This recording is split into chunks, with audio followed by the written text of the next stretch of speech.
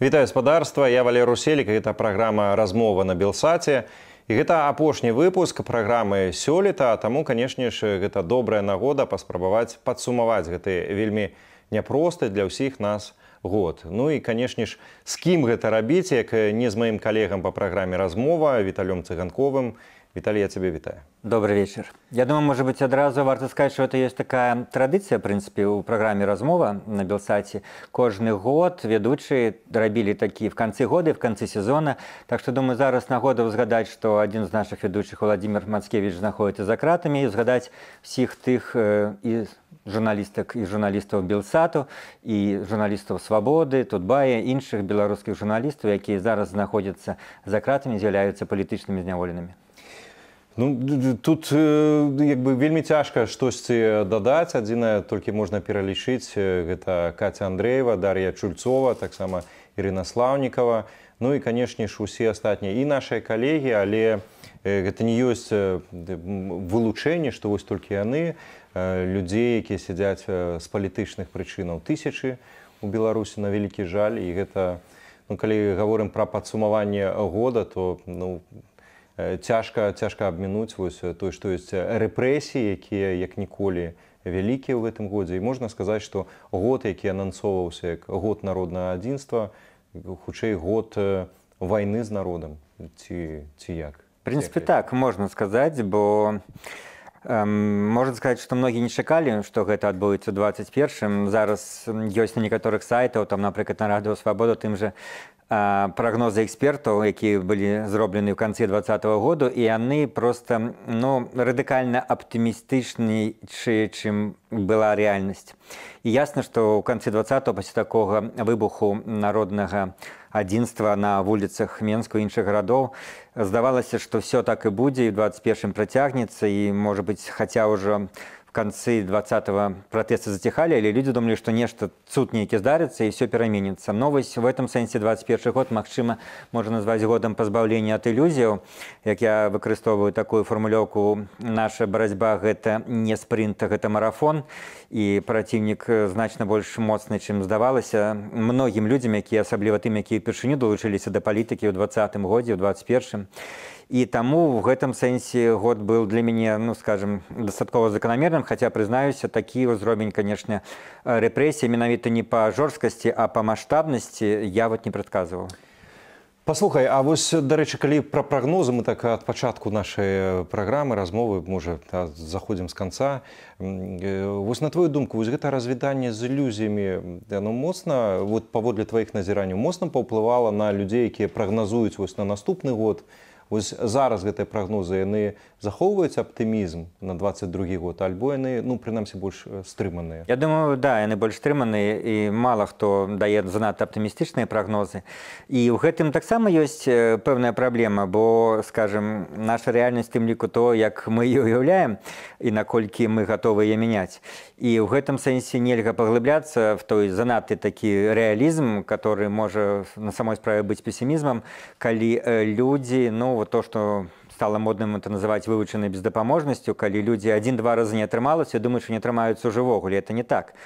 Тыя ж самыя псіхалагічныя опыты показывалі як только чалавек вырашаў нейкую задачку ён разумел ён пазбаўляўся гэтай вывучанай бездапаможнасці яна нам не патрэбная але разам з тым ну сапраўды рэалізм не, не варта губляць Ну, в прынцыпе ведаеш вось калі развіваць гэту думку то можна прынцыпе сказаць што гэта быў яшчэ і год вось такого сталення беларусу бо ўсё-таки вось гэтыя спадзевы а мы адзін раз выйшлі там альбо хтосьці за нас там прыйдзе гэта ўсё-таки такі больш дзіцячы ўзровень. А больш сталы дарослы падыход гэта калі нягледзячы на ўсе перашкоды мы працягваем мы не опускаем Справа тым што не такі ўжо дзіцячы не такі інфантыльны скажем такое слово. Бо часам в гісторыі такое бывало. Ну умоўна скажем ведаеце розныя шляхі да свабоды. Напрыклад палякі так яны змагаліся было ну скажем з савецкім ладам.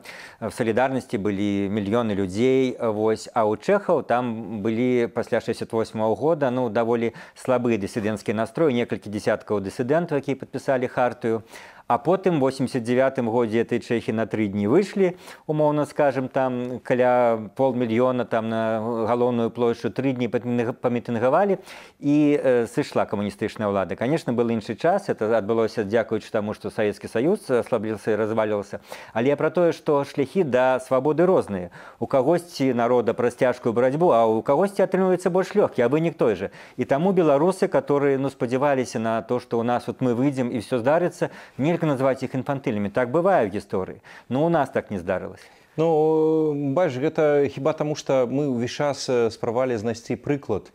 І нам гэты прыклад таксама падкідвалі. Напрыклад мы чулі там ад кагосьці з Украіны да прыкладу А што ж вы там терпіце мы бы выйшлі але не ўлічваецца кантэкст не ўлічваецца там стартавыя магчымасці і так далей. Сапраўды... Украіна. Палітолагі прыводзілі лізы там каго заўгодна за, за гэтыя за апошнія гады. Прыводзілі статыстыку па ўсіх краінах свету і даказвалі ж там калі выходзіць на вуліцу больш за тры там з паловы проценты ну, так. насельніцтва у нас то абавязкова амаль там 90 процентаў гэта рэвалюцыя перамагае.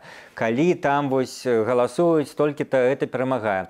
А у нас вот в негатыўным сэнсе скажем не спраўдзіліся многія такія тэарэтычныя выкладкі палітолагаў які Тэория... кажуць што кожная кожная краіна мае свой лёс. Ну і тэорыя усялякая яна мае ўласцівасць старэць і это не фізіка палітыка і грамадзянскія працэсы грамадскія это не фізіка тут няма нейкіх законаў якія абавязкова запрацуюць яшчэ вось развіваючы твою думку вось наконт развітання з ілюзіямі я пацэньваў гэты год яшчэ як і год такого здымання масак Таму што ў гэтым годзе вось, мне напрыклад не прыгадваецца аніводнага закону ці законапраекту які б ініцыявалі і ухвалілі дэпутаты рэжыму лукашэнкі альбо ён сам там штосьці падпісаў што ну, абяцала бы нейкую нейкі дабрабыт нешта добрае вот, накіравана на паляпшэнне жыцця беларусаў усё нейкія рэпрэсіўныя рэпрэсіўныя захады і вось у дачыненні да беларусаў рэжым лукашэнкі канчаткова зняў маску як ён раней спрабаваў там дзесьці там штосьці. А тут не калі ласка да, мы это... будзем стаўка на сілу і так далей. Гэта з аднаго боку з іншага боку знятая маска абсалютна у э, дачыненнях э, з вонкавым светам да прыкладу з захадам.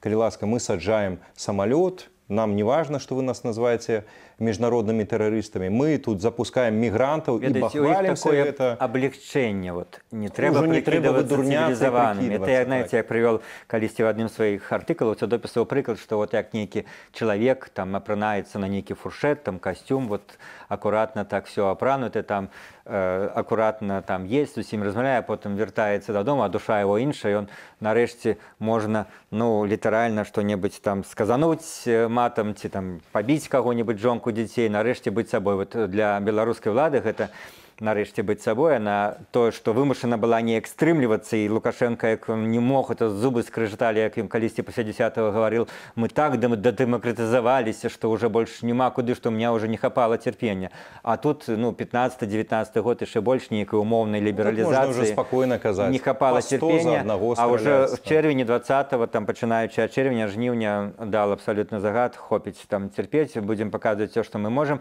і цікава пра законы. Вот разумееце то што яны прымалі вот нават браць такі можа быть не самы там страшны пра геноцид беларускага народа калі гісторыкі кажуць ну нельга ўжываць то слова геноцид был дачыненне да габрэяў да беларусаў был тэрор паколькі это іншая ну тэрміноўка іншае слово Вось і таких историков уже по этому закону можно вязать, можно сажать. И вот эти законы, они дают прыклад, что калі памятаю что-небудзь абмяркоўвалася і некаторыя людзі там ну больш такія памяркоўныя казалі все трэба дзейнічаць по закону і прыходзяць да перамогі дэмакратыі по закону но ёсць законы просто антыправавыя антыгуманныя которые немагчыма выкарыстоўваць. Калі закон забароніць дыхаць его немагчыма не парушаць. І зараз беларуская ўлада прымае такія законы якія ну просто немагчыма не парушаць. І тым самым яна штурхае грамадства да таго што закон нішто да таго што альбо трэба уцікаць альбо змагацца альбо парушаць гэтыя законы альбо просто уцякаць этой краіны. Вот то што робіць дзяржава для людзей. І гэта цікавая сітуацыя яшчэ і тым што ну пра беларусаў прынята казаць што гэта законапаслухмяныя людзі людзі якія паважаюць законы. Сапраўды у нас ну галоўна каб все па правілах было па законах. І мне здаецца што вось гэтае наплевательскае стаўленне да закону з боку дзяржавы дэманстратыўнае вось такое папіранне гэтага закону яно можа прывесці да ламання яшчэ вось аднаго з шаблонаў якія ёсць у беларускім мысленні. Я патлумачу што я маю на ўвазе. Вось калі быў кавід шмат у каго расплюшчыліся вочы бо раней здавалось ну як дзяржава ёсць. Беларусы такія дзяржаўнікі і як бы ну вот што дзяржава гэта як бы правільна. Альбо ну прынамсі не вельмі вельмі дрэнна што дзяржава заўсёды абароніць. А тут выявілася што дзяржава не толькі не абараняе ад кавіду а яшчэ смяецца і займаецца абсалютным святататствам там смеецца з памерлых там і так далей і тут тое ж самае ну здаецца трэба па законе Ну а як жыць па законе паводле закону, калі вось яны забароняць дыхаць? Як жыць? Ну, той же реакцыі зламацца на кавід было то, што людзі самі сталі арганізоўвацца, самаарганізацыя, самадапамога людзей. Э, стварылі дапамогу медыкам медыкі працавалі больш чым там трэба.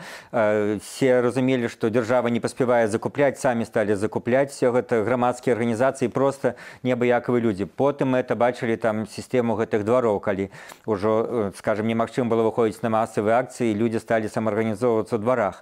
Вось это будзе рэакцыя на такія дзеянні ўлады што у Ну вот беларусы прынпе яны дзяржаўнікі і вось э, сапраўды яны можа быть за гэты выніку гэтых паўтары гады зразумеюць што ёсць рэчы э, больш можа быть важная это менавіта такая салідарнасць і менавіта асоба якая ну неяк э, супрацоўнічае з іншай асобай. І калі ну дзяржава становіцца не то уже не, не шырма нейкая там ну реально антынароднай то застаецца толькі вось такая салідарнасць паміж людзьмі канкрэтна конкретное? Ну, по сутнасці это ўздыманне такого пытання паралельнае оно... грамадства можа быть оно стане гэтае пытанне абсолютно но пытанне навошта нам Косово, такая держава которая абсолютно антынародная это вось такое пытанне і вось тут таксама мне хацелася падзначыць вот такое назіранне 2021 год ён стаўся таким яшчэ годам паглыблення кантрастаў все-таки раней э, было такое паняцце маўклівая большасць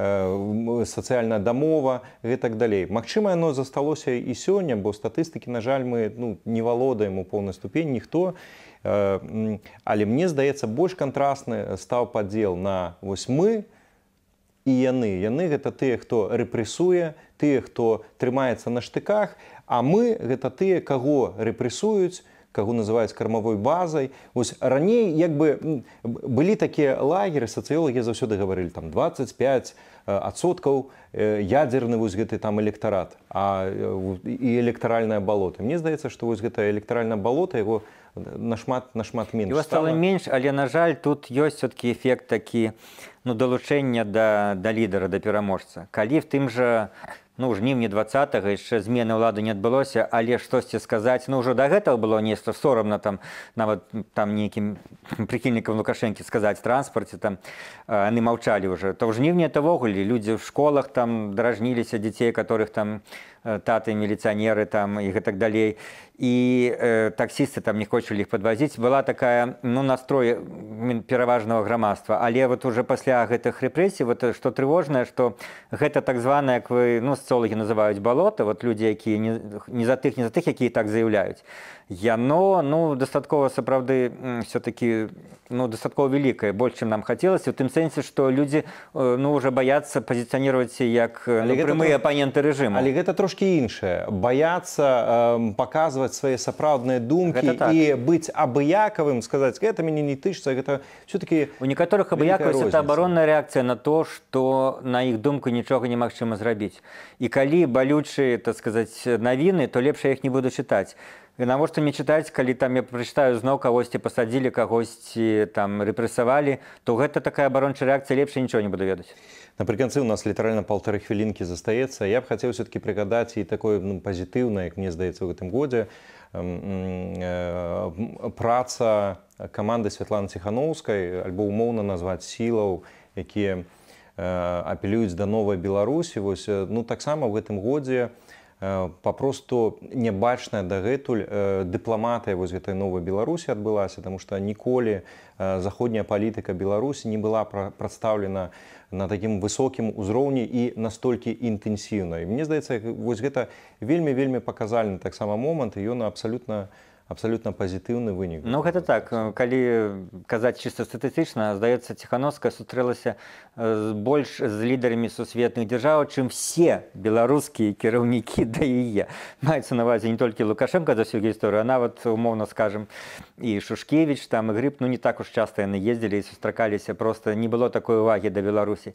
і нам только застаецца ну скажем спадзявацца прасіць э, лёс бога і саміх сябе каб гэта все канвертавалася ў рэальныя перамены.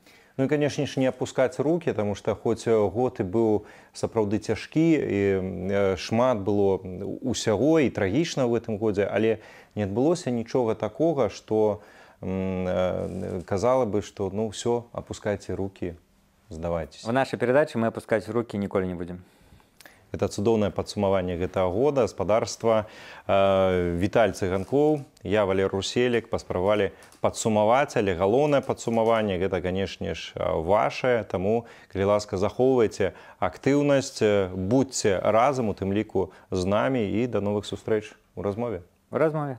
Всего добра